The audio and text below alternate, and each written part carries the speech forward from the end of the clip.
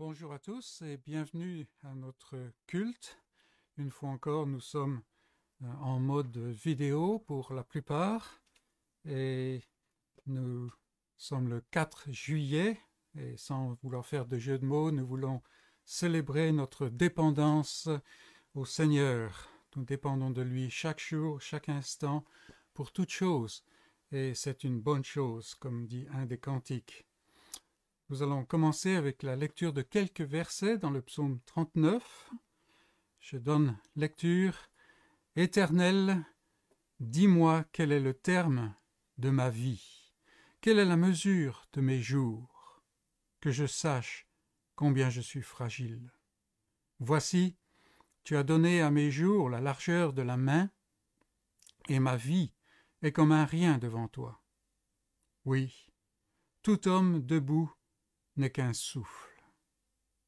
Oui, l'homme se promène comme une ombre, il s'agite vainement, il amasse, et il ne sait qui recueillera.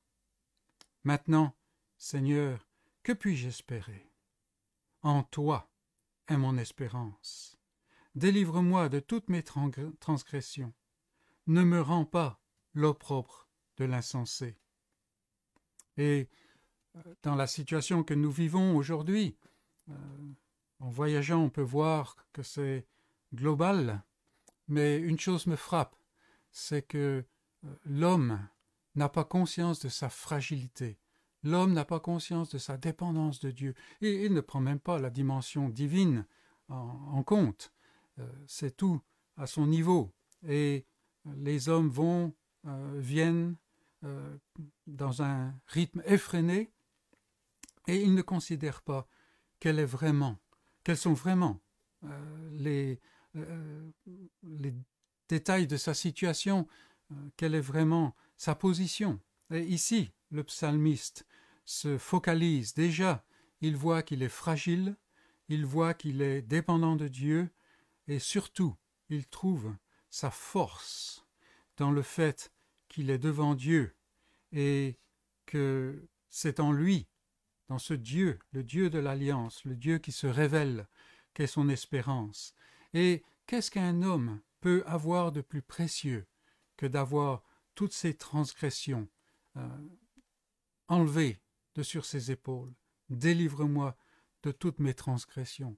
C'est la prière que nous voulons avoir, c'est aussi le sujet de louange que nous avons euh, sur nos lèvres, le fait que si nous sommes en Christ, alors il n'y a plus aucune condamnation, plus aucune transgression. Tout est sur Christ. Et nous allons euh, maintenant nous tourner vers un cantique, le cantique 336 que nous allons chanter Compte les bienfaits de Dieu. Le numéro 336.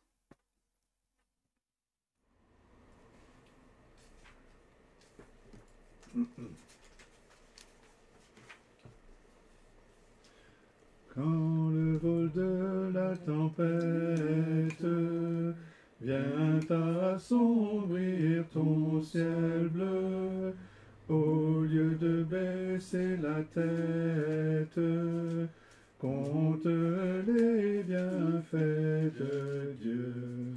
Compte les bienfaits de Dieu, mets-les tous devant tes yeux tu verras en adorant combien le nombre en est grand.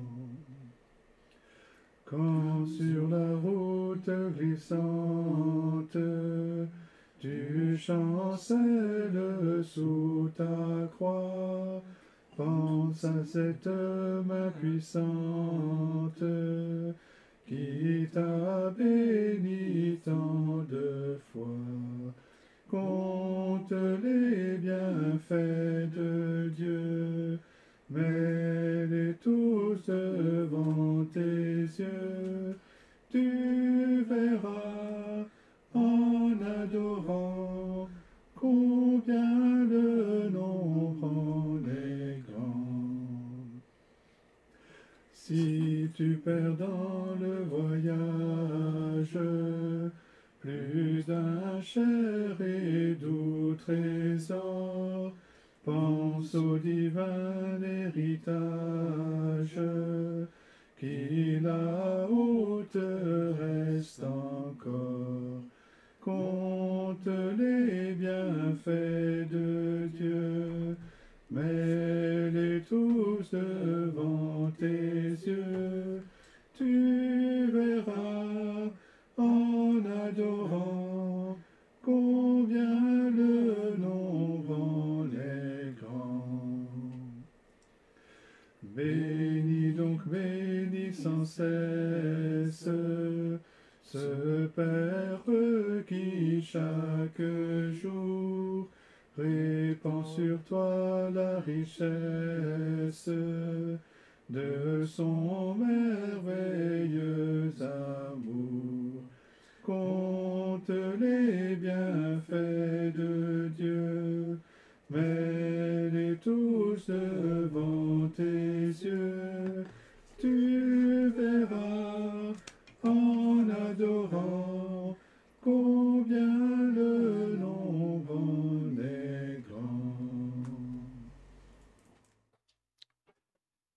Et je vous invite à nous courber devant le Seigneur dans la prière. Seigneur notre Dieu, tu es un grand Dieu, tu es en fait le grand Dieu. Il n'y a aucun Dieu qui soit semblable à toi, il n'y a même aucun Dieu en dehors de toi. Ce ne sont que des divinités, des idoles que l'homme s'est fabriquées. Et Seigneur, nous voyons dans ta parole que tu es le Dieu qui est rempli de grâce. Tu es celui qui te fait connaître euh, dans l'alliance, cette alliance de grâce, où tu fais miséricorde à une race de pécheurs, où tu appelles un peuple dans ta présence, et pour lequel, Seigneur, tu as tout fait, du début jusqu'à la fin. Nous te louons, ô notre Dieu. Nous te louons pour ce Sauveur que tu as fourni, cet agneau sans défaut, celui qui est euh, immolé et qui, dans son sang, par sa croix, apporte la paix. Donne-nous aujourd'hui, Seigneur, de voir la paix et de goûter la paix. Certains d'entre nous, nous la connaissons, mais Seigneur, les circonstances de la vie peuvent nous enlever le sentiment de cette paix. Oh, donne-nous d'être au-delà de toutes les circonstances de notre vie, qui sont réelles, mais qui sont passagères. Et donne-nous, Seigneur, de plonger nos racines dans ce courant profond de la paix qui est en Jésus-Christ. Pour d'autres, Seigneur, nous ne connaissons pas cette paix, nous voulons la connaître. Ô Seigneur, donne-nous dans ta parole d'être, de te révéler et de voir euh, qui tu es et ce que tu as fait en Jésus-Christ, et combien cette alliance est sûre et certaine. Pour d'autres encore, Seigneur, c'est l'insouciance. Peut-être nous sommes venus à ce culte d'une manière inopinée. Seigneur, que ta voix, qui est une voix puissante, qui va jusqu'au plus profond, et qui divise plus profond que la moelle et les jointures, que cette voix réveille celui qui est dans le sommeil de la mort. Et Seigneur, qu'aujourd'hui soit un jour de grâce encore une fois. Donne-nous d'entendre ta parole, d'entendre ta voix à travers tout ce que nous faisons pendant ce temps ensemble et toute la journée, car nous te le demandons en Jésus-Christ. Amen. Je vous invite maintenant à ouvrir la parole de Dieu pour une première lecture dans le livre des Proverbes. Et nous irons au chapitre 8. Ceux qui sont familiers avec le livre des Proverbes savent que le chapitre 8 est consacré à la sagesse, euh, la sagesse qui est personnifiée là. Et bien entendu, nous savons que cette sagesse personnifiée, c'est Jésus-Christ qui est pour nous sagesse. Et bien entendu, le livre des Proverbes, c'est un livre qui est situé dans la partie de la sagesse, dans la partie euh, poétique de la parole de Dieu. Euh, donc on ne va pas se laisser désarçonner par les formules peut-être euh, un peu inhabituelles, même pour nous, dans notre culture, la poésie n'utilise pas toujours les mêmes mots qu'on utiliserait dans la conversation de chaque jour. Mais ici, essayons de voir le flot de ce que euh, l'auteur, et notamment Dieu, qui est le grand auteur derrière cela, veut nous dire. Et nous commencerons la lecture au verset 22, donc Proverbe 8, verset 22. L'Éternel m'a acquise au commencement de ses voies, avant ses œuvres les plus anciennes. J'ai été établi depuis l'éternité, dès le commencement, avant l'origine de la terre. Je fus enfanté quand il n'y avait point d'abîme, point de source chargée d'eau. Avant que les montagnes soient affermies, avant que les collines existent, je fus enfanté. Il n'avait pas encore fait ni la terre, ni les campagnes, ni le premier atome de la poussière du monde. Lorsqu'il disposa les cieux, j'étais là. Lorsqu'il traça un cercle à la surface de l'abîme, lorsqu'il fixa les nuages en haut, et que les sources de l'abîme jaillirent avec force, lorsqu'il donna une limite à la mer, pour que les eaux n'en franchissent pas les bords, lorsqu'il posa les fondements de la terre, j'étais à l'œuvre auprès de lui, et je faisais tous les jours ses délices, jouant sans cesse en sa présence, jouant sur le globe de la terre, et trouvant mon, mon bonheur parmi les fils de l'homme. Et maintenant, mes fils, écoutez-moi, et heureux ceux qui observent mes voix. Écoutez l'instruction pour devenir sage. Ne la rejetez pas. Heureux l'homme qui m'écoute, qui veille chaque jour à mes portes, et qui en garde les poteaux. Car celui qui me trouve a trouvé la vie, et il obtient la faveur de l'Éternel. Mais celui qui pêche contre moi nuit à son âme. Tous ceux qui me haïssent aiment la mort. Et c'est la parole de Dieu. Et dans ces paroles, nous avons cette euh, image. Et bien entendu, c'est une image poétique de ce Fils que Dieu envoie, ce Fils qui a été non pas créé, il est parlé de, de naître ici, mais c'est plutôt naître dans l'alliance, dans ce projet, dans ce dessein d'alliance, de rédemption. Mais nous avons ce Fils qui est là, euh, qui dépasse toute chose et que Dieu a envoyé. Il n'y en avait pas euh, d'autre. Euh, même tout ce qui est inférieur à ce Fils ne suffisait pas pour accomplir le salut, pour accomplir ce dessein de Dieu. Mais il est venu. Et nous avons cette assurance alors que nous vivons chaque jour. Peut-être des fois nous tombons d'un jour dans un autre, un peu à la merci des événements, des circonstances, eh bien, rappelons-nous, utilisons ce temps ensemble, rappelons-nous qu'il y a quelque chose d'autre, il y a les mains éternelles, les bras éternels de, Dieu qui sont tout autour et qui protègent son peuple. Nous avons cette euh, promesse. Heureux, béni, l'homme qui m'écoute et qui veille chaque jour à mes portes, celui qui se plaît dans les parvis de l'Éternel. Et ce n'est pas que l'homme est différent des autres par lui-même et qu'il fait quelque chose de merveilleux. Non, c'est que Dieu lui a donné un cœur qui désire veiller tous les jours, chaque jour, dans les portes de l'Éternel, dans, dans, sa présence. Et celui qui, au contraire, vit sa vie comme si Dieu n'existait pas, dans l'insouciance ou même parfois dans la rébellion, celui-là, en fait, est dans une position à la fois dangereuse et ridicule.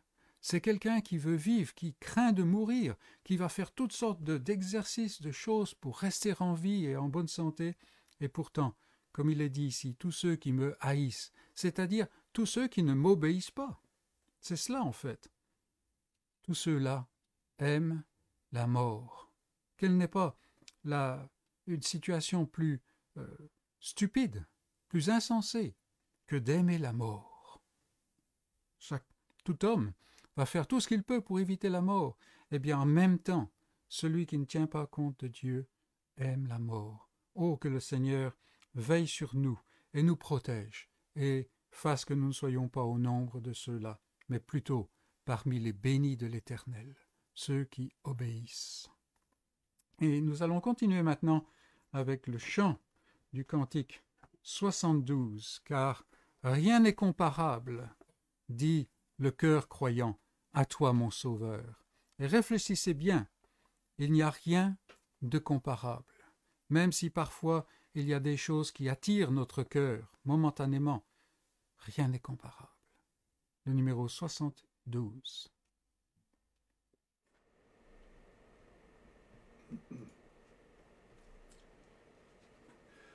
Rien n'est comparable à toi, mon Sauveur. Rien n'est souhaitable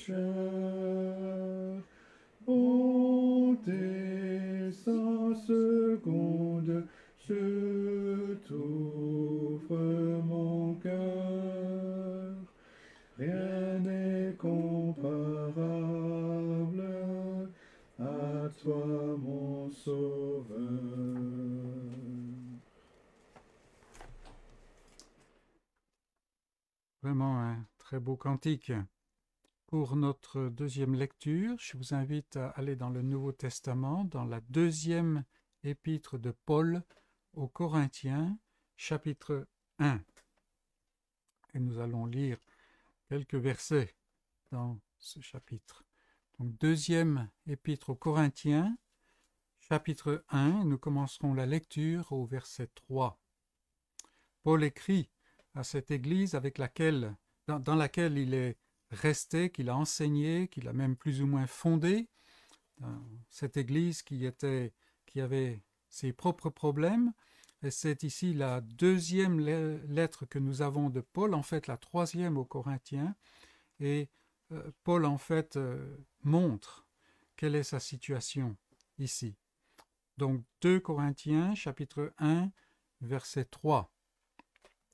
Béni soit Dieu, le Père de notre Seigneur Jésus-Christ, le Père des miséricordes et le Dieu de toute consolation, qui nous console dans toutes nos afflictions, afin que, par la consolation dont nous sommes l'objet de la part de Dieu, nous puissions consoler ceux qui se, trouvent dans l'affliction. Car, de même que les souffrances de Christ abondent en nous, de même notre consolation abonde par Christ. Si nous sommes affligés, c'est pour votre consolation et pour votre salut. Si nous sommes consolés, c'est pour votre consolation qui se réalise par la patience à supporter les mêmes souffrances que nous endurons. Et notre espérance à votre égard est ferme, parce que nous savons que si vous avez part aux souffrances, vous avez part aussi à la consolation. Nous ne voulons pas, en effet, vous laisser ignorer, frères, au sujet de l'affliction qui nous est survenue en Asie, que nous avons été excessivement accablés au-delà de nos forces, de telle sorte que nous désespérions même de conserver la vie. Et nous regardions comme certains notre arrêt de mort, afin de ne pas placer notre confiance en nous-mêmes, mais de la placer en Dieu, qui ressuscite les morts. C'est lui qui nous a délivrés et qui nous délivrera d'une telle mort, lui de qui nous espérons qu'il nous délivrera encore. Vous nous assistez vous-même de vos prières, afin que la grâce obtenue pour nous par plusieurs soit pour plusieurs une occasion de rendre grâce à notre sujet. Car ce qui fait notre gloire, c'est ce témoignage de notre conscience, que nous nous sommes conduits dans le monde, et surtout à votre égard, avec sainteté et pureté devant Dieu, non point avec une sagesse charnelle, mais avec la grâce de Dieu. Nous vous écrivons, nous, nous, ne vous écrivons pas autre chose que ce que vous lisez, et vous-même le reconnaissez, et j'espère que vous le reconnaîtrez jusqu'à la fin, comme vous avez été, comme vous avez déjà reconnu en partie que nous sommes votre gloire, de même que vous serez aussi la nôtre au jour du Seigneur Jésus. Et c'est la parole de Dieu. Dans ce passage, euh, Paul dit beaucoup de choses, mais en particulier, il nous montre que il a été extrêmement affligé. Il ne va pas dans les détails, car les détails sont secondaires en quelque sorte, mais il était dans une affliction extrêmement profonde. On a tendance à penser à Paul comme quelqu'un qui est un peu téflon, il n'y a rien qui, colle, euh, et les difficultés de la vie euh, ne le perturbent pas. En fait, c'est très faux. Euh, Paul était un homme qui était profondément sensible, quelqu'un de très émotionnel en fait, et qui était découragé très rapidement. On, le, voit dans quelques passages de la parole de Dieu. Mais Paul ici a été en Asie, c'est-à-dire plus à l'est, et dans l'Asie mineure, et il a été éprouvé presque au point de désespérer de rester en vie. Et maintenant, il est sorti de cette affliction et il s'assoit et il réfléchit et il essaye de voir qu'est-ce que tout cela a voulu dire. Et c'est merveilleux parce que cela nous aide, parce que Paul n'est pas dans, le creuset de l'affliction, là, il en est sorti et il analyse, et il s'aperçoit en fait que, contrairement à ce que l'affliction fait, Dieu fait quelque chose au travers de l'affliction. Et c'est très intéressant. Euh, quelquefois, quand je passe par l'épreuve, je m'aperçois que mon monde, tout d'un coup, se restreint et commence à tourner autour de moi. Il devient tout petit. Et tout ce dont je parle, c'est mon affliction, ou tout, ce dont, tout ce à quoi je pense, c'est mon affliction. Et Paul, ici, il voit que, en fait, oui, ça c'est une réalité, mais la vraie réalité, si on peut dire, n'est-ce pas, c'est que non, l'affliction est un outil dans les mains de Dieu. Et qu'est-ce qu'il veut faire? En fait, il veut enrichir l'Église. Et c'est quelque chose d'absolument renversant. C'est que je peux en fait participer à la, croissance et à la vie de l'Église à travers l'affliction que je subis, à travers les circonstances. C'est pas nécessairement l'affliction, mais dans l'affliction, on a tendance à penser que ça sert à rien. Eh bien non, et c'est ce que Paul ici montre. Et il montre qu'en fait, cette affliction va tisser des liens encore beaucoup plus forts de fraternité entre les croyants. Et on peut dire d'un certain côté, eh bien, là, en fait, on commence à comprendre à quoi sert cette affliction, à quoi servent les épreuves, Alors, ce n'est pas simplement, ce n'est pas le seul facteur, il y a des tas d'autres choses, car Dieu a une sagesse immense, une sagesse à diverses facettes, multiples, n'est-ce pas? Mais déjà là, on se sort de soi-même et on s'aperçoit que Dieu utilise l'affliction comme en fait dans, un sens missionnaire ou dans un sens d'affermissement du peuple de Dieu, de son peuple. N'est-ce pas merveilleux? Alors, c'est vrai, c'est vrai. Quand on est dans le creuset, ces choses-là semblent être tout à fait euh, intellectuelles. Mais, non pas dans, le vécu, non pas dans le sentiment qu'on ressent. Mais en fait, ces choses-là sont réelles. Et c'est ce qui va durer. Ce qui va durer. Euh, quelqu'un a dit que à, travers les difficultés de l'Église, c'est ainsi que l'Église grandit et qu'elle-même se reproduit. Hein. le, sang des martyrs est la semence de l'Église. Et c'est une vérité. Et euh, je me rappelle quelqu'un qui avait euh, reçu un diagnostic terrible il y a quelques années, et tout ça, voyant qu'il y avait des non-croyants qui étaient touchés par cela, disait mais si cela est le résultat, alors ça vaut la peine. Et c'était pas facile à dire. Mais c'était la foi qui parlait. Et ici, Paul nous montre bien qu'il y a en fait ces deux pôles, et la chair et l'esprit. Et le pôle qui vraiment compte, celui qui va durer, c'est le pôle de l'esprit. Et comme il dit, l'affliction qu'il a vécue, c'est pour la consolation de l'Église, et que ces paroles nous servent de consolation à chacun d'entre nous, dans toutes les circonstances où nous sommes. La deuxième aux Corinthiens est une belle épître à, euh, à ce niveau-là. Mais je vous invite maintenant à vous courber devant le Seigneur avec moi et nous allons nous adresser à lui. Prions. Seigneur notre Dieu, toi qui es tout sage, nous nous courbons devant toi. Nous avons tendance, Seigneur, à penser que nous savons alors que nous ne savons rien. Nous avons tendance, Seigneur, à penser que nous avons le bien-être pour droit, alors que nous n'avons rien. Ta parole même dit la vérité quand elle dit que dès que l'homme naît, l'étincelle, les étincelles commencent à euh, surgir. Et Seigneur, euh, cette vie dans ce monde, touché par le péché, nous qui sommes touchés aussi par le péché, entaché, tordu. Seigneur, cette vie n'est pas facile. Mais nous voyons dans ces temps que tu nous donnes, où nous nous plongeons dans ta parole, où nous communions avec les saints, où nous euh, réfléchissons à qui tu es et ce que tu fais, et où, Seigneur, tu nous donnes de nous approcher de toi. Seigneur, nous voyons que la réalité est tout autre. Toute chose tourne autour de toi. Tu es celui qui est au centre de tout. Et ce matin, Seigneur, nous voulons simplement nous prosterner dans la poussière devant toi pour dire Tu es Dieu. Combien tu es grand, combien tu es bon, toi qui es le Dieu de grâce. Et Seigneur, nous te prions, dans ces temps difficiles, que tu accomplisses ton dessein. Nous te demandons, Seigneur, de marcher avec nous, de marcher avec ton peuple, mais aussi d'avancer tout ton dessein. Et aujourd'hui, nous savons que euh, tout autour de la terre, il y a des lieux où ta parole est annoncée, où euh, il y aura cette explication et cette application de cette parole éternelle.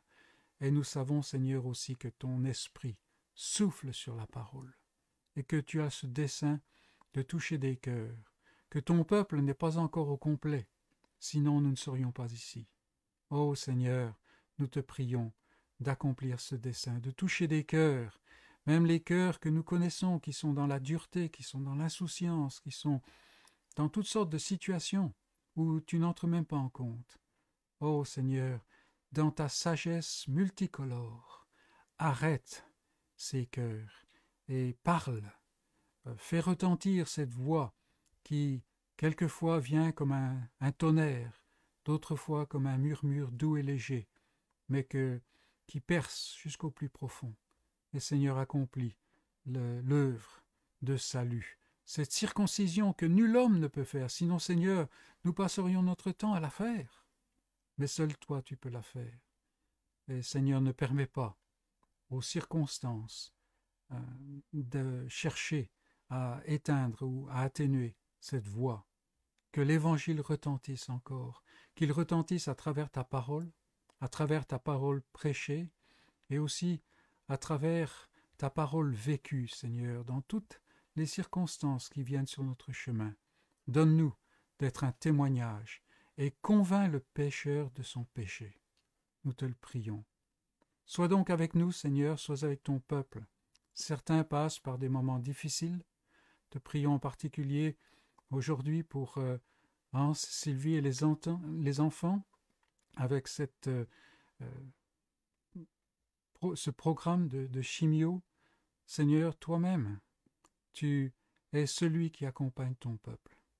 Nous devons nous arrêter quelque part, mais toi, tu vas jusqu'au plus intime. Et c'est ce que nous prions pour notre frère, notre sœur, pour les enfants, toute la famille, et que ce soit un témoignage, Seigneur. Là où euh, l'homme, la chair, ne voit que la destruction, ne voit que euh, ce qui est négatif, Seigneur, donne-nous de voir euh, une nouveauté de vie. Nous te prions aussi, Seigneur, pour ceux qui passe par la persécution. Il y a des pays, Seigneur, où cette persécution est ouverte, où il y en a aujourd'hui qui meurent pour porter ton nom. Seigneur, sois avec eux. Comme ton Fils a prié, nous ne prions pas de les enlever du monde, mais d'être avec eux dans le monde. Et Seigneur, donne-nous de prier, de penser à eux. Il y a aussi des persécutions, Seigneur, qui sont beaucoup plus subtiles, des persécutions qui ne disent pas leur nom et qui sont terribles, la persécution de l'affluence, la persécution du matérialisme, la persécution de la satisfaction de soi. Et toutes ces choses, ô Seigneur, protège ton peuple. Protège-nous chacun.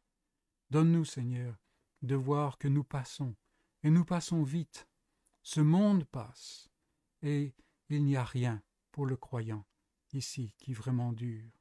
Donne-nous, Seigneur, de compter ses bienfaits, d'adorer et de voir combien, Seigneur, venir vers toi est encore mieux, de loin le meilleur, d'être en ta présence en Christ. Seigneur, nous nous approchons de ta parole et nous te demandons de parler à nos cœurs, de donner clarté de pensée, clarté de parole à celui qui va ouvrir cette parole, et Seigneur, que ton esprit parle à chacun de nos cœurs, car nous te le demandons en Jésus-Christ notre Seigneur. Amen. Avant le message, je vous invite à prendre, à venir au cantique 294 dans notre recueil de cantiques, La croix que Dieu me donne à porter ici-bas est jointe à la couronne qui ne se flétrit pas. Le Seigneur nous donne de voir cela véritablement. Le 294.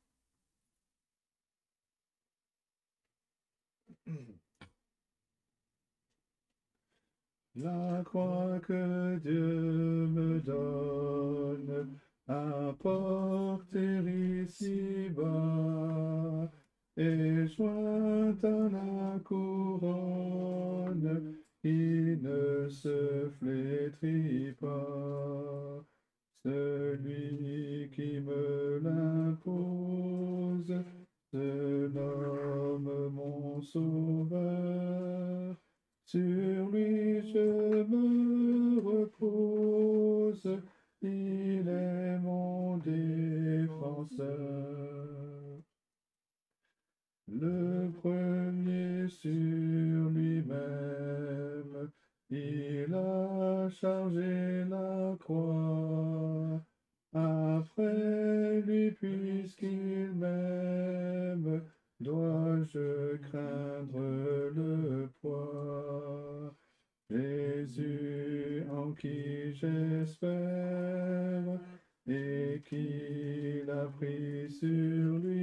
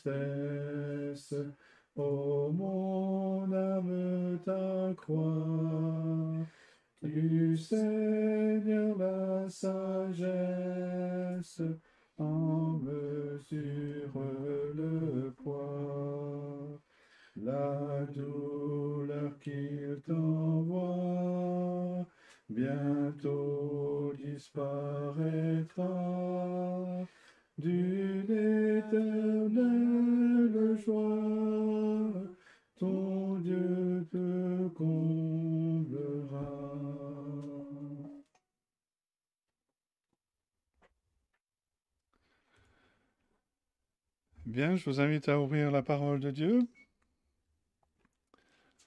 dans le livre des juges. Nous continuons notre série dans ce livre. Nous allons lire Juges chapitre 9 à partir du verset 22 jusqu'à la fin du chapitre. Juge chapitre 9 à partir du verset 22 et voici la parole de Dieu. Abimelech avait dominé trois ans sur Israël. Alors Dieu envoya un mauvais esprit entre Abimelech et les habitants de Sichem. Et les habitants de Sichem furent infidèles à Abimelech, afin que la violence commise sur les soixante-dix fils de Jérubal reçoive son châtiment, et que leur sang retombe sur Abimelech leur frère, qui les avait tués, et sur les habitants de Sichem, qui l'avaient aidé à tuer ses frères.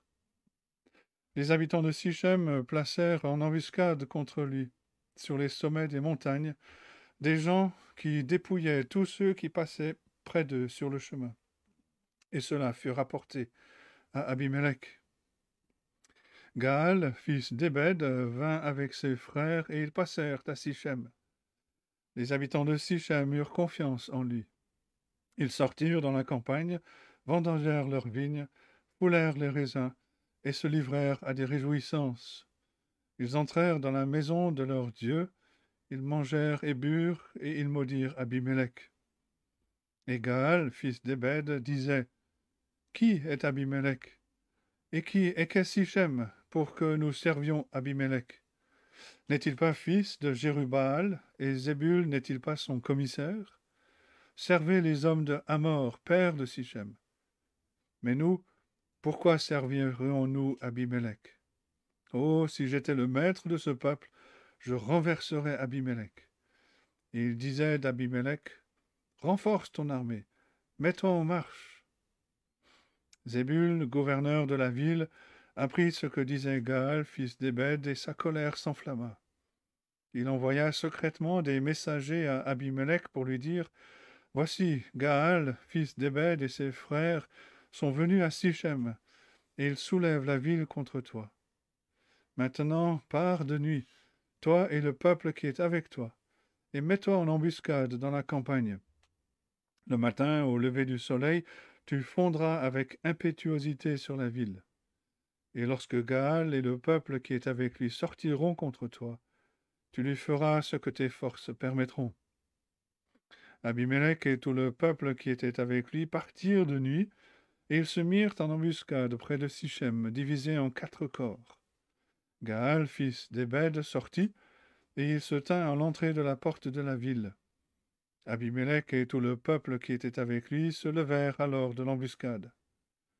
Gaal aperçut le peuple, et il dit à Zébul, Voici un peuple qui descend du sommet des montagnes. Zébul lui répondit, c'est l'ombre des montagnes que tu prends pour des hommes. Gaal, reprenant la parole, dit C'est bien un peuple qui descend des hauteurs du pays. Une troupe arrive par le chemin du chêne des devins. Zébul lui répondit Où donc est ta bouche, toi qui disais Qui est Abimelech pour que nous le servions? N'est-ce point là le peuple que tu méprisais? Marche maintenant, livre-lui bataille. Gaal s'avança à la tête des habitants de Sichem et livra bataille à Abimelech. Poursuivi par Abimelech, il prit la fuite devant lui, et beaucoup d'hommes tombèrent morts jusqu'à l'entrée de la porte. Abimelech s'arrêta à Aruma, et Zébul chassa Gaal et ses frères, qui ne purent rester à Sichem. Le lendemain, le peuple sortit dans la campagne. Abimelech, qui en fut informé, prit sa troupe, la partagea en trois corps, et se mit en embuscade dans la campagne. Ayant vu que le peuple sortait de la ville, il se leva contre eux et les battit. Abimelech et les corps qui étaient avec lui se portèrent en avant et se placèrent à l'entrée de la porte de la ville. Deux de ces corps se jetèrent sur tous ceux qui étaient dans la campagne et les battirent. Abimelech attaqua la ville pendant toute la journée. Il s'en empara et tua le peuple qui s'y trouvait. Puis il rasa la ville et y sema du sel. À cette nouvelle, tous les habitants de la tour de Sichem se rendirent dans la forteresse de la maison du dieu Bérite. On avertit Abimelech que tous les habitants de la tour de Sichem s'y étaient rassemblés. Alors Abimelech monta sur la montagne de Tsalmon, lui et tout le peuple qui était avec lui. Il prit en main une hache, coupa une branche d'arbre, l'enleva et la mit sur son épaule. Ensuite il dit au peuple qui était avec lui, Vous avez vu ce que j'ai fait, hâtez-vous de faire comme moi. Et ils coupèrent chacun une branche, et suivirent Abimelech. Ils placèrent, placèrent les branches contre la forteresse, et l'incendièrent avec ceux qui y étaient. Ainsi périrent tous les gens de la tour de Sichem, au nombre d'environ mille hommes et femmes. Abimelech, marcha contre Tébet, il assiégea Thébès et s'en empara. Il y avait au milieu de la ville une forte tour où se réfugièrent tous les habitants de la ville, hommes et femmes. Ils s'y enfermèrent et montèrent sur le toit de la tour. Abimelech parvint jusqu'à la tour. Il l'attaqua et s'approcha de la porte pour y mettre le feu. Alors une femme lança sur la tête d'Abimelech un morceau de meule de moulin et lui brisa le crâne. Aussitôt il appela le jeune homme qui portait ses armes et lui dit Tire ton épée, et donne-moi la mort, de peur qu'on ne dise de moi, c'est une femme qui l'a tué. Le jeune homme le perça, et il mourut. Quand les hommes d'Israël virent qu'Abimelech était mort, ils s'en allèrent, chacun chez soi. Ainsi Dieu fit retomber sur Abimelech le mal qu'il avait fait à son père, en tuant ses soixante-dix frères. Et Dieu fit retomber sur la tête des gens de Sichem tout le mal qu'ils avaient fait. Ainsi s'accomplit sur eux la malédiction de Jotam, fils de Jérubal. Et jusque-là la parole de Dieu. La dernière fois, nous avons vu le récit d'Abimelech, fils que Gédéon a eu avec une concubine qui habitait Sichem et qui, après la mort de Gédéon, a décidé qu'il voulait devenir roi sur Israël il a motivé les habitants de sa ville natale qui lui ont donné beaucoup d'argent, qu'il a utilisé pour faire appel au service d'une certaine racaille euh, pour l'aider. Et avec cette aide, Abimelech s'est rendu à la ville où était basée la famille de Gédéon, donc à Ophra. Il a tué les 69 fils de Gédéon, ses demi-frères. Et maintenant, ce méchant homme avait la voie libre pour être roi, mais il n'a jamais été roi sur Israël. Les habitants de Sichem l'ont peut-être considéré comme étant leur roi, mais il n'a jamais été le roi de la nation du peuple d'Israël. Abimelech n'a pas réalisé qu'un de ses soixante-dix frères avait échappé au massacre et un jour, et on l'a vu la dernière fois, Jotam s'est présenté au mont Garizim et a raconté aux, habitants de Sichem une euh, histoire, une parabole au sujet des arbres de la forêt qui ont choisi un buisson d'épines pour régner sur eux. Et Jotam a utilisé cette histoire pour souligner comment le peuple avait accepté la méchanceté, avait accepté une injustice grossière en soutenant Abimelech. Et Jotam a conclu avec cet avertissement qu'on a lu au verset 15 la dernière fois. Le buisson d'épines répondit aux arbres Si c'est de bonne foi que vous voulez moindre pour votre roi, venez, réfugiez-vous sous mon ombrage. Sinon un feu sortira du buisson d'épines et dévorera les cèdres du Liban. À aucun moment dans cette histoire, Jotam n'a affirmé que Dieu lui avait donné ce message, qu'il était un prophète, ou que son histoire était inspirée, et pourtant elle l'était. C'est un de ces moments étranges dans la vie où Dieu a prophétisé, prophétisé par une personne qui n'était pas consciente qu'elle était en train de prophétiser. Et en l'espace de trois ans, au bout de trois ans, ce terrible avertissement s'est accompli. Et à ce moment-là, il était trop tard pour le peuple de changer d'avis. Lorsque Dieu s'est impliqué activement dans leur vie, la vie est devenue un désastre, voire pire pour une grande partie du peuple. Il y a beaucoup de leçons dans ce passage et on va frayer notre chemin au milieu des détails pour soulever certaines leçons importantes que Dieu nous enseigne dans cette histoire. Et le premier grand point, qui va du verset 22 au verset 40, c'est que l'homme récolte ce qu'il sème. L'homme récolte ce qu'il sème, et si vous voulez un petit point, un petit A, dans une tournure d'événements qu'il est difficile pour la sagesse humaine de comprendre, on apprend que les choses ont rapidement changé pour Abimelech, quand Dieu a envoyé un esprit mauvais pour semer le trouble.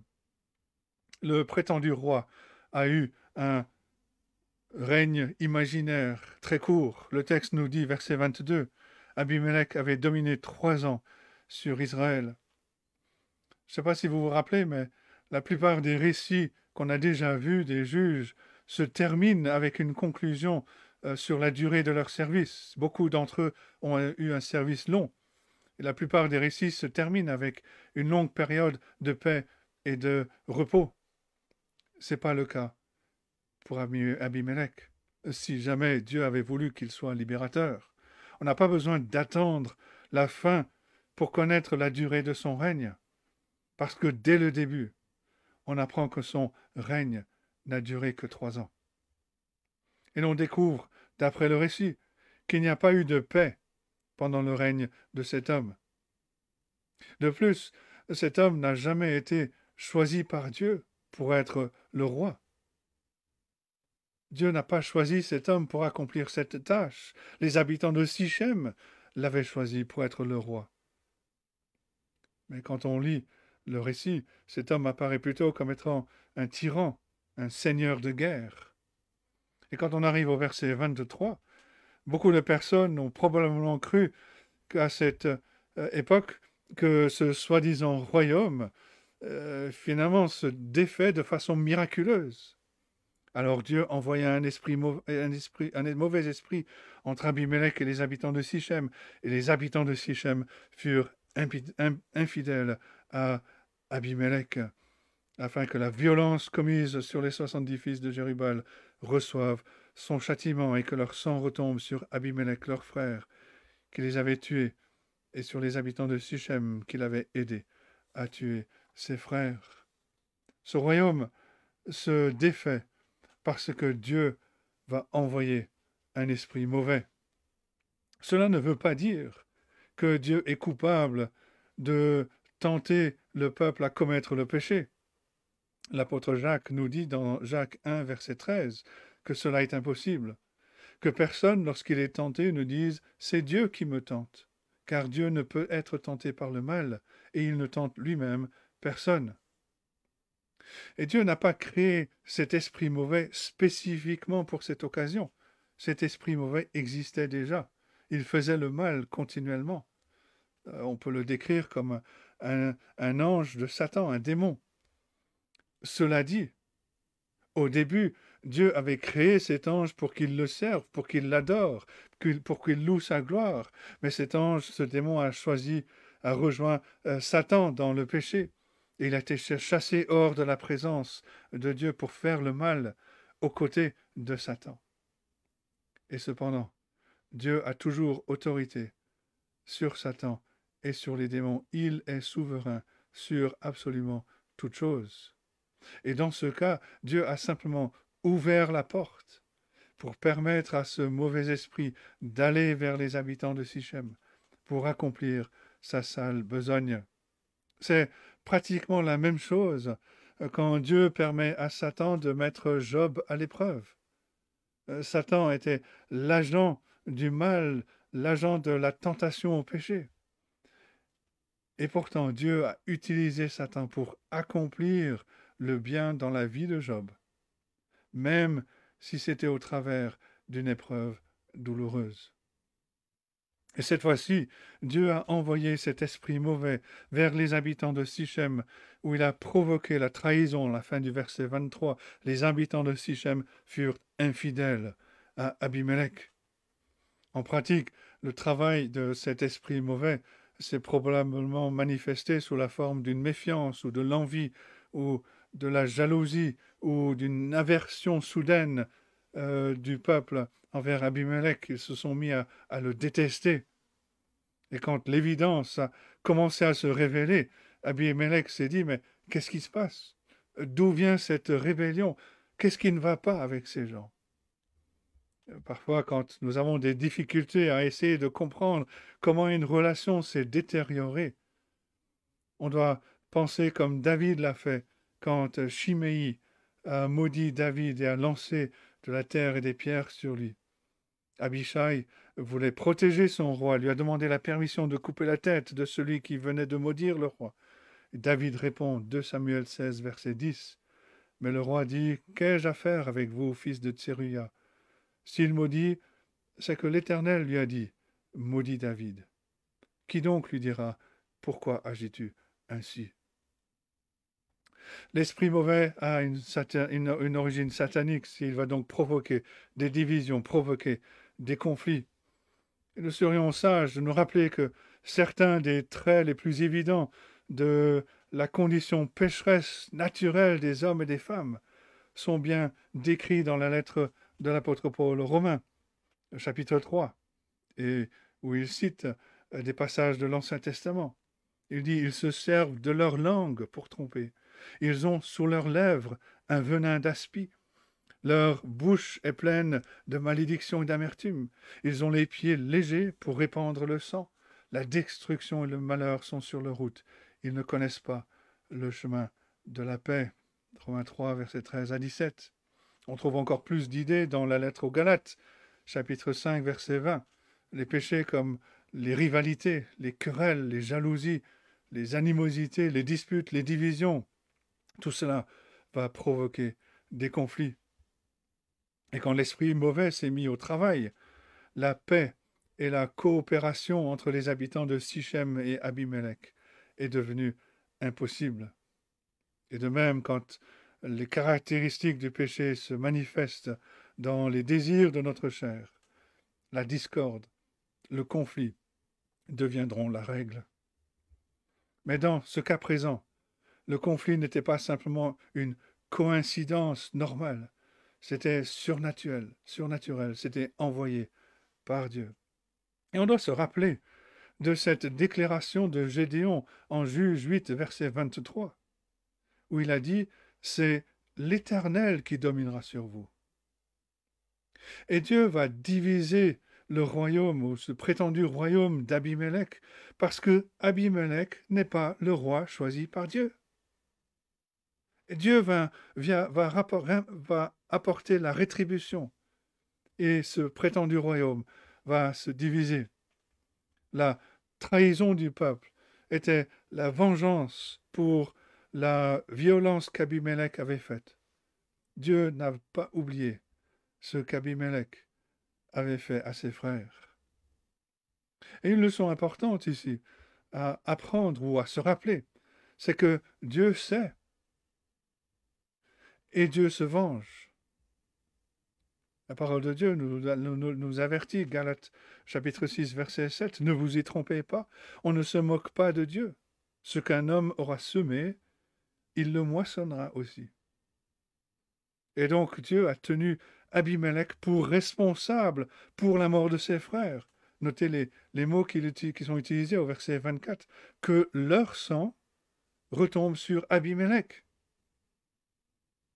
La situation ressemble à celle du premier meurtre, quand Dieu a appelé Caïn à répondre du meurtre de son frère Abel.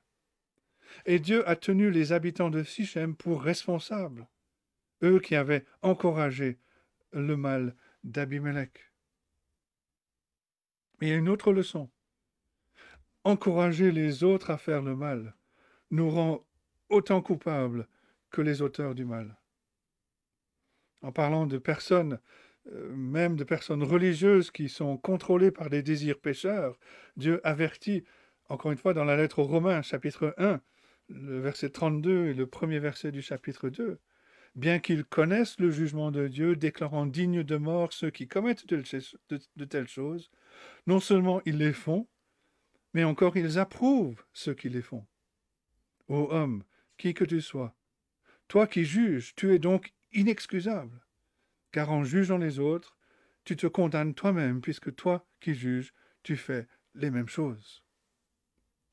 Cette trahison envoyée par Dieu s'est manifestée par une mutinerie. Verset 25. Les habitants de Sichem placèrent en embuscade contre lui, sur les sommets des montagnes, des gens qui dépouillaient tous ceux qui passaient près d'eux sur le chemin.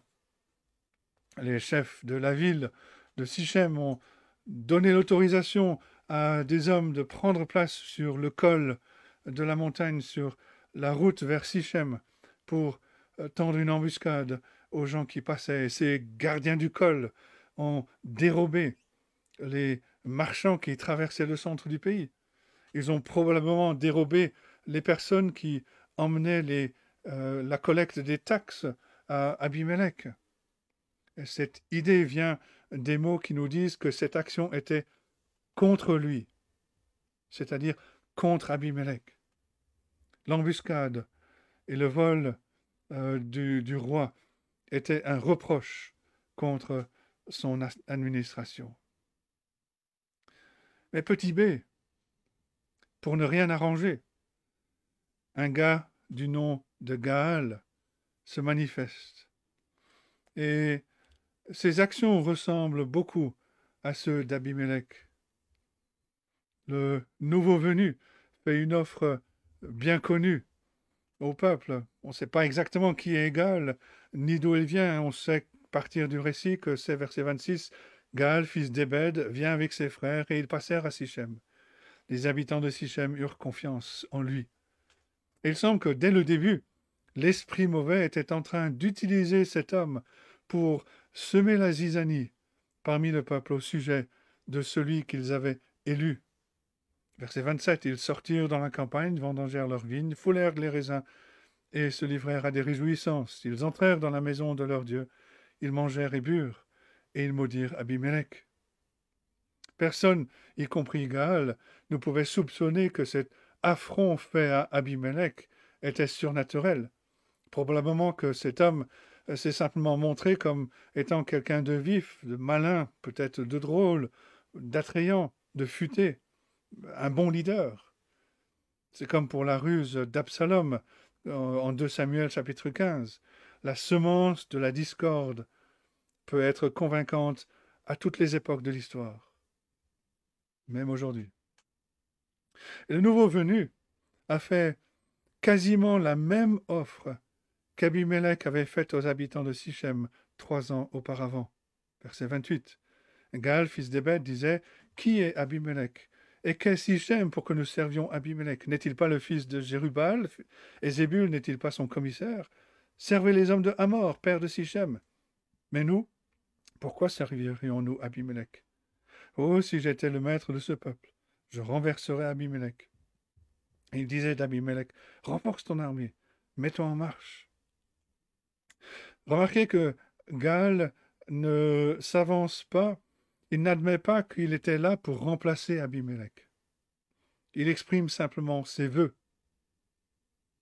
Gaal avait déjà souligné les déficiences d'Abimelech. Le verset 27 dit Gaal, lui et ses hommes maudirent Abimelech.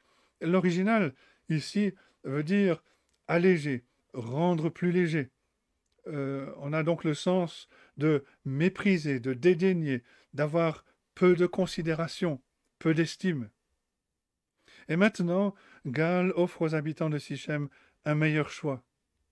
Il explique à ses habitants crédules qu'il serait bien meilleur de servir les fils du fondateur de Sichem, Amor, père de Sichem, plutôt que de servir les fils d'une concubine, et dont le père décédé venait d'Ophra. Et c'est presque point par point l'offre qu'Abimelech avait faite aux habitants de Sichem. Trois ans auparavant, Abimelech avait proposé qu'il serait meilleur pour le peuple de servir le petit gars du village plutôt que les fils du sud, ceux qui habitaient Ophra. Mais tout le monde à Sichem n'était pas conquis par cet intrus, Gaal. Apparemment, ce prénommé Zébul était le représentant, le commissaire d'Abimelech à Sichem. Verset 30. Zébul, gouverneur de la ville, apprit ce que disait Gaal, fils d'Ebed, et sa colère s'enflamma. En entendant les grognements contre Abimelech et l'offre de ce nouveau venu, Zébul a averti son patron. Verset 31, il envoya secrètement des messagers à Abimelech pour lui dire Voici, Gaal, fils d'Ebed, et ses frères sont venus à Sichem, et ils soulèvent la ville contre toi. Zébul a conseillé Abimelech au sujet du meilleur moyen d'arrêter cette mutinerie. Verset 32. Maintenant, pars de nuit, toi et le peuple qui est avec toi, et mets-toi en embuscade dans la campagne. Le matin, au lever du soleil, tu fondras avec impétuosité sur la ville. Lorsque Gaal et le peuple qui est avec lui sortiront contre toi, tu lui feras que ce que tes forces te permettront. Il allait maintenant y avoir un combat très réel, très préjudiciable entre celui que le peuple avait, choisi et ceux qu'il avait choisis. Troisième petit point, trois petits C. Dans le plan de Dieu, le temps était venu pour Gaal d'avaler ses paroles orgueilleuses. Parfois, l'orage qui approche est quelque chose d'évident, et c'est le cas pour cet intrus. Le fanfaron a vu sa correction arriver rapidement. Verset 35. Gaal, fils d'Ebed, sortit. Il se tint à l'entrée du porte de la ville. Abimelech et tout le peuple qui était avec lui se levèrent alors de l'embuscade et sa réponse n'est pas positive. Verset 36. Gaal aperçut le peuple et il dit à Zébul Voici un peuple qui descend du sommet des montagnes. Zébul lui répondit C'est l'ombre des montagnes que tu prends pour des hommes. Gaal, reprenant la parole, dit C'est bien un peuple qui descend des hauteurs du pays et une troupe arrive par le chemin du chêne, des devins. On n'a pas l'impression que Gaal pensait que ces gens arrivaient pour le couronner roi. On a plutôt l'impression que Gaal est un peu inquiet. C'est l'image d'une personne qui a vécu dans le péché, qui a été avertie de quitter ce péché, mais qui a choisi de bouder Dieu, de bouder le bon conseil. Et un jour, cette personne va au travail, là où elle a semé la discorde, il reçoit un mot du chef de l'entreprise qui le convoque immédiatement pour un entretien. Et si l'homme avait un poil de jugement, il se rendrait au bureau du chef avec crainte et tremblement. Quand Dieu envoie la rétribution, il est trop tard pour se repentir. Zébul, verset 38, lui répondit Où donc est ta bouche, toi qui disais Qui est Abimelech pour que, pour que nous le servions?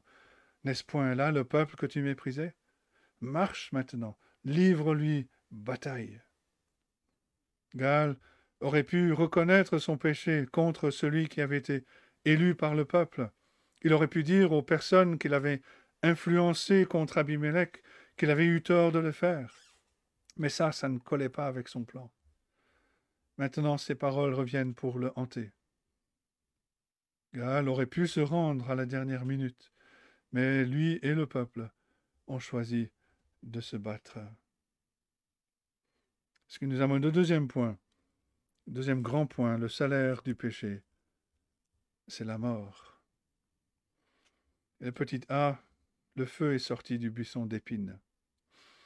Et à ce stade, il est bon pour nous de nous arrêter, de nous rappeler la prédiction de Jotam. Jotam avait averti les habitants de Sichem en juge, euh, un peu plus haut, juge 9, versets 19 et 20. Si c'est de bonne foi et avec intégrité qu'en ce jour vous avez agi envers Jérubal et sa maison, eh bien qu'Abimelech fasse votre joie, et que vous fassiez aussi la, sienne.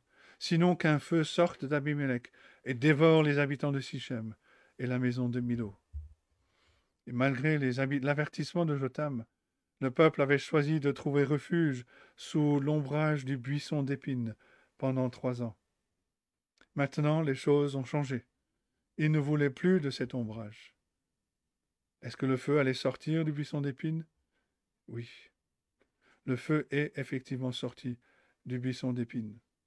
Tout d'abord, le souverain, le buisson d'épines, Abimelech et ses hommes se sont débarrassés du fauteur de troubles. Verset 41. Abimelech s'arrêta à Aruma, et Zébul chassa Gaal et ses frères, qui ne purent rester à Sichem. Maintenant c'est bon, chacun pouvait retourner à une vie normale. Tout allait bien. Non. Les habitants de Sichem avaient pris parti contre leur chef. Ils l'ont injurié. Ils ont volé aux citoyens de l'argent qui était censé revenir à Abimelech. Il apparaît clairement de cette histoire qu'il n'y a aucun signe de repentance. Et cela nous amène à une autre leçon importante.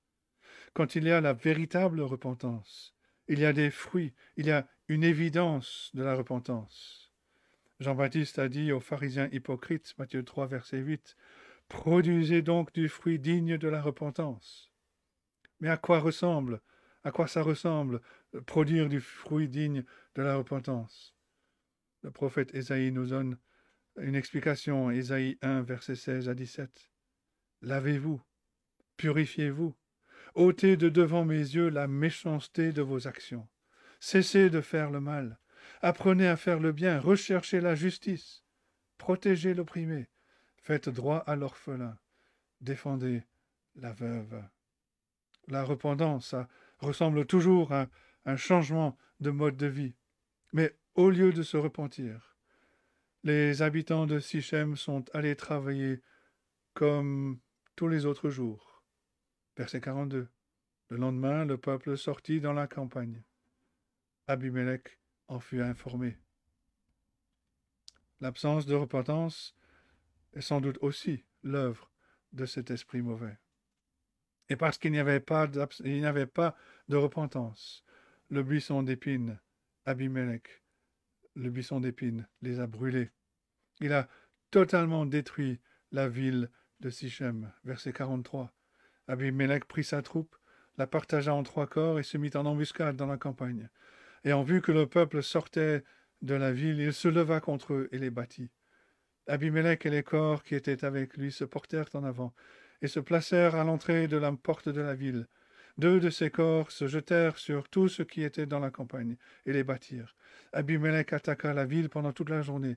Il s'en empara et tua le peuple qui s'y trouvait. Puis il rasa la ville et sema du sel. Et le fait de semer du sel, c'était une tentative de rendre la terre aride, la terre stérile, et que plus rien ne pousse. Après avoir maîtrisé la partie principale de la ville, Abimelech et son armée se sont dirigés vers la partie fortifiée de, la ville, là où les chefs s'étaient réfugiés, verset 46.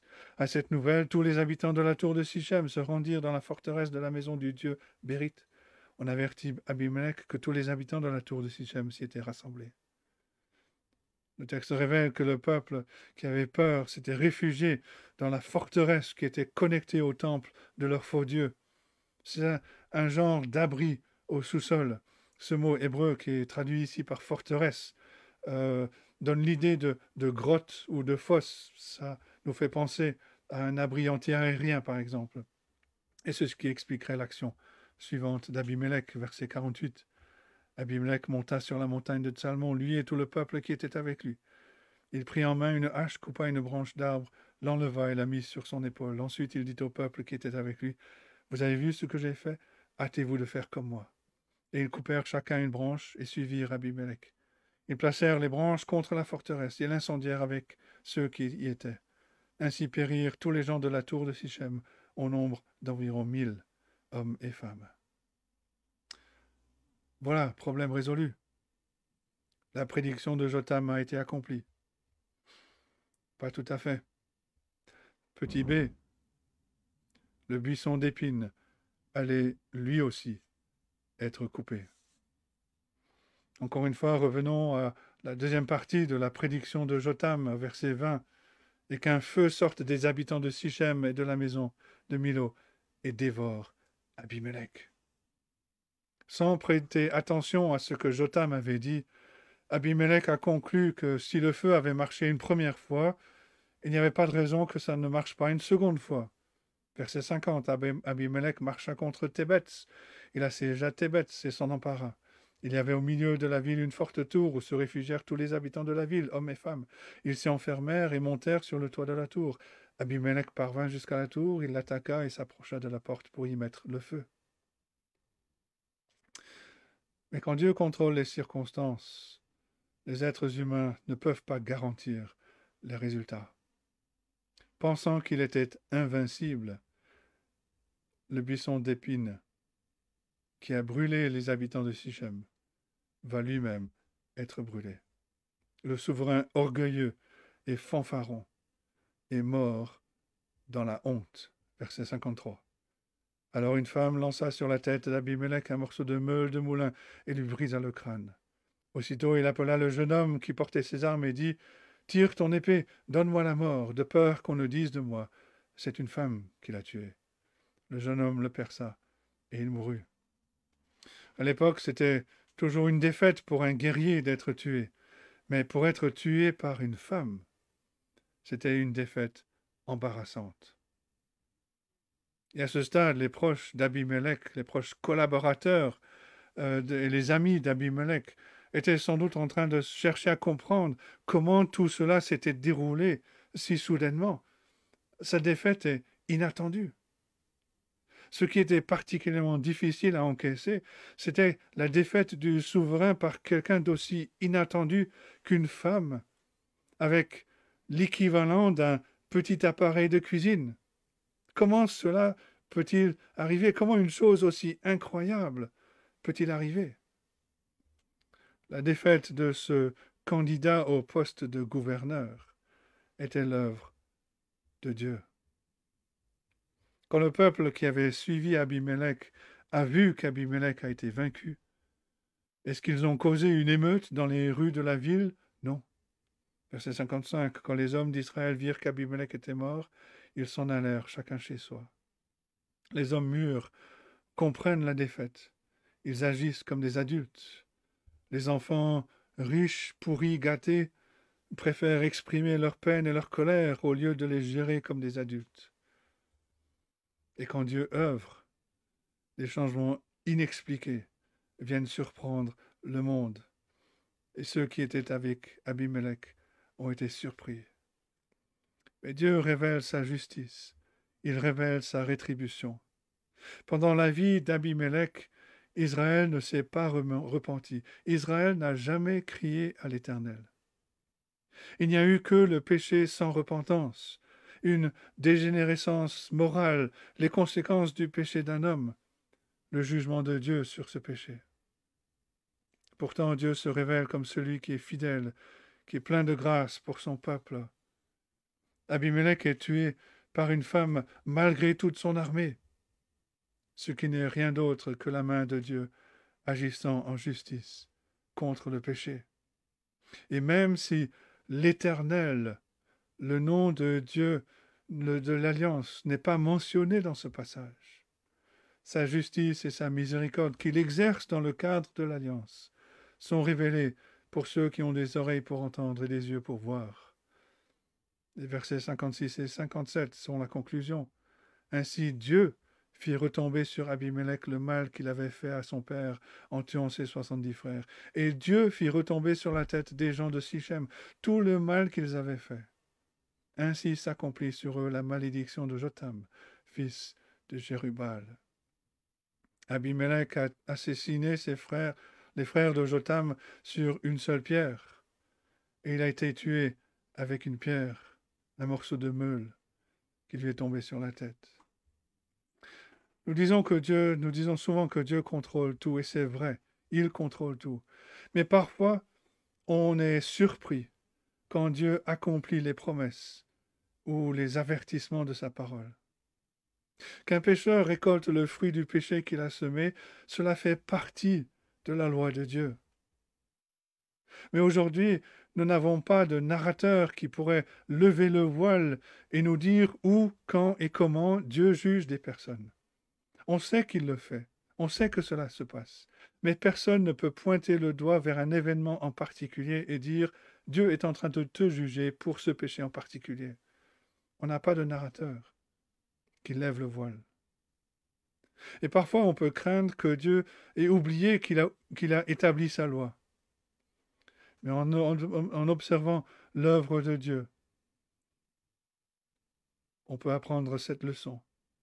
Les roues de la colère de Dieu peuvent moudre lentement, mais elles vont moudre très finement. Les gens qui ressemblent à Abimelech et les personnes qui ressemblent aux habitants de Sichem donnent parfois l'impression d'échapper au paiement pour leur méchanceté. Mais on ne doit pas oublier que le juge éternel, le Dieu qui règne sur toute chose, a le dernier mot dans l'histoire. Il apporte ce que les hommes pécheurs méritent, sa justice parfaite. La loi de Dieu tient toujours. Mais qu'est-ce que nous pouvons faire devant cette loi? Cette loi nous condamne, cette loi nous écrase. Paul nous dit en Romains 3, versets 19 et 20, nous, nous savons que tout ce que dit la loi, elle le dit à ceux qui sont sous la loi, afin que toute bouche soit fermée, que tout le monde soit reconnu coupable devant Dieu. Car personne ne sera justifié devant lui par les œuvres de la loi, puisque c'est par la loi que vient la connaissance du péché. Et cette loi exige le paiement de notre péché par la mort. Le salaire du péché, c'est la mort. Romains 6, 23. Galates 3, verset 10 nous dit Maudit et quiconque n'observe pas tout ce qui est écrit dans le livre de la loi et ne le met pas en pratique. Abimelech a versé son sang, mais son sang n'a racheté personne. Son sang lui était demandé à cause de son péché. Et personne ne peut échapper à la justice de Dieu. Mais Dieu a pourvu un véritable refuge, pas un buisson d'épines, un véritable refuge, quelqu'un qui nous fait échapper à la colère de Dieu, parce qu'il a subi cette colère à notre place. Il a versé son sang pour notre rançon. Abimelech a reçu la justice rétributive qu'il méritait pour ses péchés. Le Seigneur Jésus-Christ a reçu la justice rétributive que nous méritions pour nos péchés. Abimelech est mort pour ses propres péchés. Le Seigneur Jésus-Christ est mort pour les péchés de son peuple, de ceux qui se repentent et croient en lui. Le sang d'Abimelech était un mémorial pour le péché et le mal. Le sang de Jésus-Christ est un mémorial pour la rédemption, le pardon des péchés. Le Seigneur Jésus-Christ a pris les péchés et les conséquences de nos péchés sur lui quand il a donné sa vie en rançon pour nos transgressions. La justice rétributive de Dieu a été rendue, pour son peuple sur son Fils bien-aimé. Paul écrit en 2 Corinthiens 5, 21, Celui qui n'a point connu le péché, il l'a fait devenir péché pour nous, afin que nous devenions en lui justice de Dieu. Alors, ne courons pas après des Abimelech ou des Gaal qui nous font des promesses qu'ils ne peuvent pas tenir, mais tournons-nous vers le Seigneur Jésus-Christ. Reconnaissons et confessons-lui nos péchés. Repentons-nous et vivons en communion avec lui en comptant sur sa grâce parce qu'il est le seul véritable libérateur. Et il a libéré son peuple en donnant sa vie. Pour son peuple. Que Dieu nous aide à méditer sur ces choses et qu'il bénisse sa parole à nos cœurs. Amen. Merci bien. Et comme nous sommes, nous avons reçu l'exhortation de nous tourner, de nous détourner de, des hommes, quels qu'ils soient, puisqu'aucun homme ne peut apporter le salut, la délivrance, et c'est vers l'Éternel que nous nous tournons, vers l'Éternel et son loin, comme dit la parole. Nous allons chanter le numéro 42 pour terminer notre culte. Le numéro 42, c'est Vers toi que je me tourne. Je veux marcher dans tes voies. Le fait de se tourner vers Dieu n'est pas simplement intellectuel, n'est pas simplement un désir, ça devient une réalité. Je veux marcher dans tes voies. Numéro 42.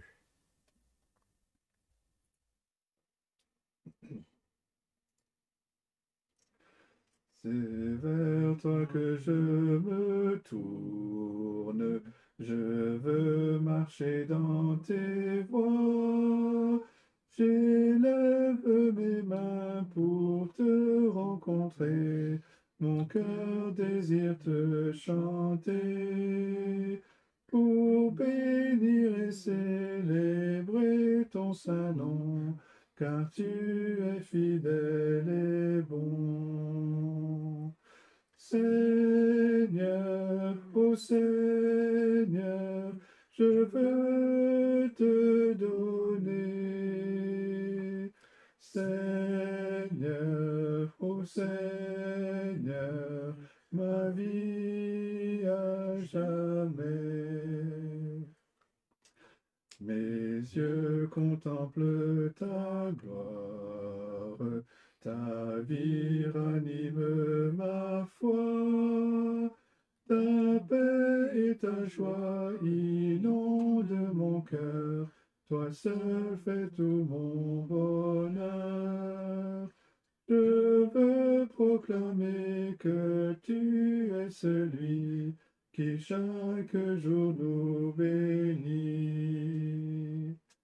Seigneur, ô Seigneur, je veux partager. Seigneur, ô Seigneur, ton éternité.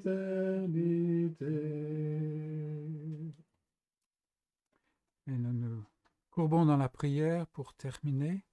Seigneur notre Dieu, nous te louons pour ta parole.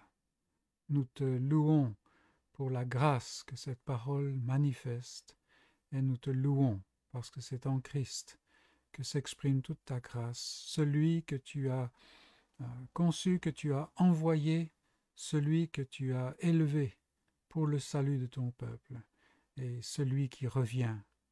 Ô notre Dieu, donne-nous de nous fixer sur cette espérance, donne-nous de nous fixer sur le rocher du salut qui est en Christ, et donne-nous aussi de marcher chaque instant en nouveauté de vie pour euh, célébrer ta gloire, pour manifester ta grâce et pour recevoir la paix, la paix chaque jour, comme euh, tu disais autrefois à tes disciples, vous êtes purs, ils n'avaient besoin que de se laver euh, de la poussière de la journée.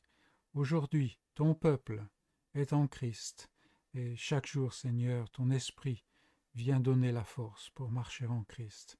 Sois avec chacun des tiens, Seigneur, et manifeste ta gloire en ces jours mauvais. Nous te le prions en Jésus-Christ. Amen. C'est ici la fin de notre culte. Un bon dimanche, une bonne semaine à chacun de vous avec le Seigneur.